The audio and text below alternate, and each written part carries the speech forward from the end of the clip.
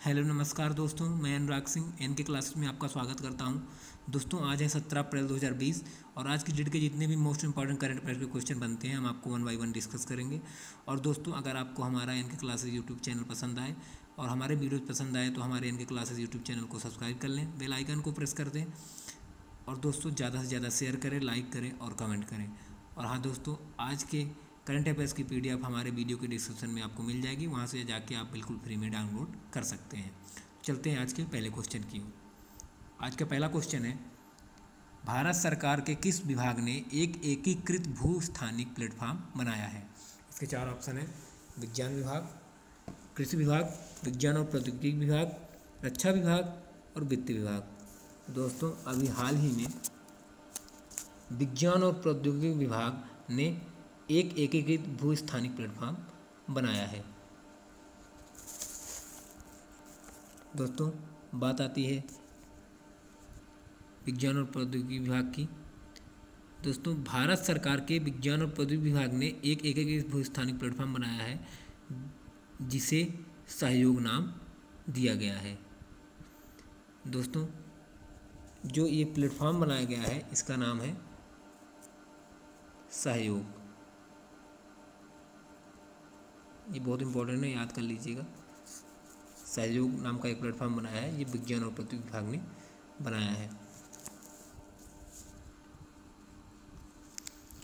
जो ये एकीकृत भूस्थानिक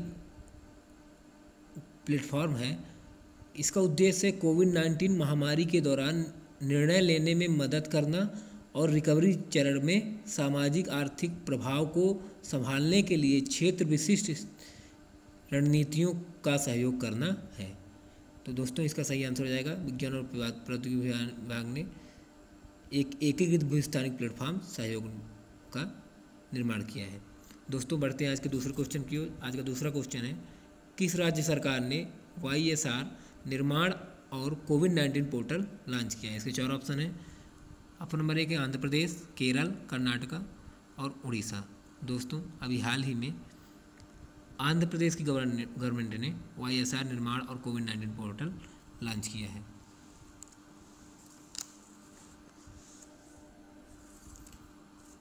दोस्तों, आंध्र प्रदेश के CM Y S Jagan Mohan Reddy ने कोविड नाइन्टीन से लड़ने के लिए वाई एस आर निर्माण और कोविड नाइन्टीन पोर्टल लॉन्च किया है। दोस्तों, बात आती है आंध्र प्रदेश की तो आंध्र प्रदेश के सीएम है Y S Jagan Mohan Reddy ji.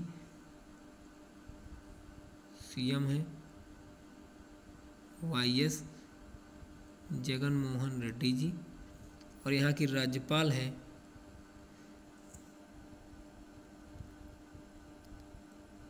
विश्व भूषण हरिचंदन। जी हाँ।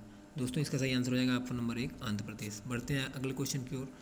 अच्छा अगला क्वेश्चन है, तेरहवा इंटरनेशनल अरब फिक्सन अवार्ड 2020 किसने जीता है? इसके चार ऑप्शन हैं अब्दुल्ला हाब, असावी, अब्दुल रहीम, मोहम्मद उस्मान और रियाज खान।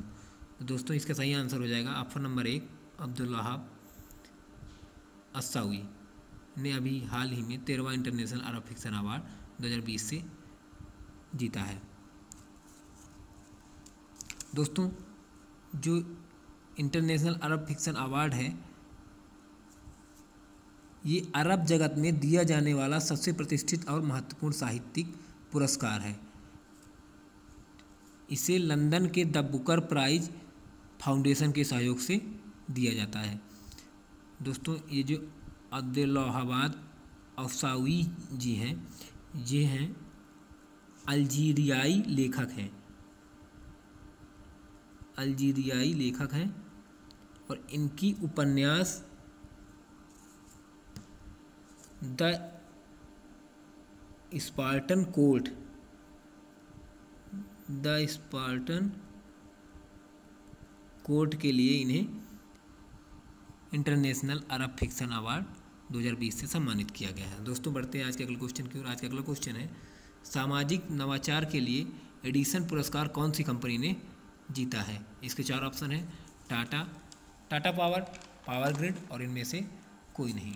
दोस्तों, इसका सही आंसर हो जाएगा ऑप्शन नंबर दो, टाटा पावर ने अभी हाल ही में सामाजिक नवाचार के लिए एडिसन पुरस्कार जीता है। दोस्तों, बात आती है टाटा पावर की। तो जो टाटा पावर है, इसके सीईओ हैं प्रवीर सिन्हा। सीईओ हैं प्रवीर सिन्हा जी। और हेडक्वार्टर जो है इसका मुंबई में है। दोस्तों, जो टाटा पावर कंपनी है, यह पुरस्कार अपने club energy switch off to switch on अभियान के लिए जीता है। दोस्तों एडिसन जो अवार्ड है ये दुनिया भर के सर्वश्रेष्ठ नवाचारों और इनोवेटर्स को सम्मानित करता है। इस पुरस्कार की शुरुआत, जो ये पुरस्कार है एडिसन पुरस्कार। इसकी शुरुआत उन्नीस सौ सतासी में थॉमस अल्वा एडिसन की स्मृति में की गई थी। दोस्तों, बढ़ते अगले क्वेश्चन की ओर। आज का अगला क्वेश्चन है पेटीएम जनरल इंश्योरेंस लिमिटेड के नए एमडी और सीईओ किसे नियुक्त किया गया है? इसके चार ऑप्शन हैं, विजय शेखर, सतीश कुमार गुप्ता, राजीव कुमार और विनीत अरोड़ा। तो दोस्तों, अभी हाल ही में विनीत अरोड़ा जी को पेटीएम जनरल इंश्योरेंस लिमिटेड के नए एमडी और सीईओ के रूप में नियुक्त किया गया है। दोस्तों, बात आती है विजय शेखर की। तो विजय शेखर जी ये पेटीएम के संस्थापक हैं। पेटीएम के संस्थापक हैं। और जो सतीश कुमार गुप्ता जी हैं, ये पेटीएम पेमेंट बैंक लिमिटेड के एमडी और सीईओ हैं। और जो पेटीएम का पेटीएम का जो हेडक्वार्टर है, वो नोएडा यूपी में है और इसकी पेटीएम की जो स्थापना हुई थी, वो 2010 में हुई थी। दोस्तों, इसका सही आंसर हो जाएगा। ऑप्शन नंबर चार, विनीत अरोड़ा। बढ़ते हैं अगले क्वेश्चन की ओर। आज का अगला क्वेश्चन है, हाल ही में यूनेस्को की विश्व धरोहर समिति का चौवालीसवां सत्र स्थगित हुआ है, वो कहाँ होने वाला था? इसके चार ऑप्शन हैं, जापान, चीन, भारत और अमेरिका।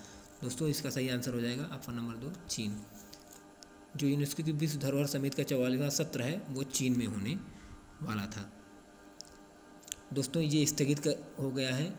उसका कारण है, विश्व भर में जो कोविड नाइन्टीन महामारी का प्रकोप चल रहा है। दोस्तों, बात आती है चीन की। तो चीन के राष्ट्रपति हैं सी जिनपिंग और चीन की कैपिटल है बीजिंग। मुद्रा है चीनी युयान। यूनेस्को के जो महानिदेशक हैं, उनका नाम है आड्रे अजोले। दोस्तों, बढ़ते हैं अगले क्वेश्चन की ओर। आज का अगला क्वेश्चन है, हाल ही में वर्ल्ड के सबसे ज़्यादा तेज़ी से डाउनलोड होने वाला ऐप कौन है? इसके चार ऑप्शन है near by spot Aarogya Setu Covid nineteen इनमें से कोई नहीं। तो दोस्तों, जो आरोग्य सेतु ऐप है, जो कि भारत सरकार ने लॉन्च किया है। ये हाल ही में सबसे तेज़ी से डाउनलोड होने वाला विश्व में ऐप है।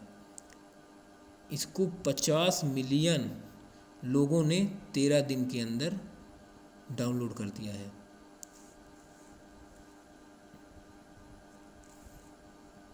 दोस्तों,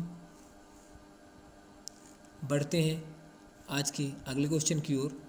आज का अगला क्वेश्चन है भारत सरकार ने कोविड नाइन्टीन को मैनेज करने के लिए भारत के सभी जिलों को कितने भागों में बांटा है? इसके चार ऑप्शन हैं। ऑप्शन नंबर एक है दो, चार, तीन और पाँच। दोस्तों, अभी हाल ही में भारत सरकार ने कोविड नाइन्टीन को मैनेज करने के लिए भारत के सभी जिलों को तीन भागों में बांटा है। तो इसका सही आंसर हो जाएगा ऑप्शन नंबर तीन तीन। इसके अनुसार भारत के जो ज़िले हैं, इनके तीन भागों में डिवाइड किया गया है। भारत के डिस्ट्रिक्ट को। Hot spot, non hot spot और ग्रीन जोन। भारत के 170 जिलों को हॉट स्पॉट जोन में नॉन हॉट स्पॉट जोन में दो सौ सात जिलों को और ग्रीन जोन जोन में तीन जिलों को शामिल किया गया है। दोस्तों पढ़ते हैं आज के अगले क्वेश्चन की ओर। आज का अगला क्वेश्चन है हाल ही में किस अभिनेता का निधन हुआ है? इसके चार ऑप्शन है, अशोक कुमार रंजीत चौधरी, दिलीप कुमार, इनमें से कोई नहीं। दोस्तों, इसका सही आंसर हो जाएगा ऑप्शन नंबर दो रंजीत चौधरी, जिनका हाल ही में निधन हो गया है। दोस्तों जो रंजीत चौधरी जी थे, इन्होंने चालीस से अधिक फ़िल्मों में अभिनय किया था और इनका जन्म मुंबई में हुआ था। दोस्तों, बढ़ते हैं अगले क्वेश्चन की ओर। आज का अगला अगला और लास्ट क्वेश्चन है। गृह मंत्रालय ने किस ऐप को अनसेफ बताया है? इसके चार ऑप्शन हैं। ऑप्शन नंबर एक है जूम, टीम व्यूअर, स्काइप और इनमें से कोई नहीं। तो इसका सही आंसर हो जाएगा ऑप्शन नंबर एक, जूम। ये जो जूम वीडियो कॉन्फ्रेंसिंग ऐप है, ये एक वीडियो कॉन्फ्रेंसिंग ऐप है, जिसको भारत सरकार ने अनसेफ बताया है। ये जो जूम ऐप है, इससे वीडियो कॉन्फ्रेंसिंग होती है। और ये अनसेफ बताया गया है प्राइवेट पर्सन के लिए, जो अपन बात करते हैं, इसके लिए ये अनसेफ बताया गया है। गृह मंत्रालय ने एक एडवाइजरी जारी करके इसका, इस बात को बताया है। तो इसका सही आंसर हो जाएगा ऑप्शन नंबर एक, जून। दोस्तों, ये रहे आज के कुछ महत्वपूर्ण करंट अफेयर्स के क्वेश्चन दोस्तों, अगर आपको आज के करंट अफेयर्स की पीडीएफ पानी है तो हमारे वीडियो के डिस्क्रिप्शन में जाके आप वहाँ से बिल्कुल फ्री में डाउनलोड कर सकते हैं। दोस्तों, अगर आज का वीडियो अच्छा लगा तो आप हमारे N K classes YouTube channel को सब्सक्राइब करें, बेल आइकन को दबाएँ, ज़्यादा से ज़्यादा शेयर करें, लाइक करें और कमेंट करें। दोस्तों, आपसे कल फिर मुलाकात होगी, तब तक के लिए जय हिंद, जय भारत।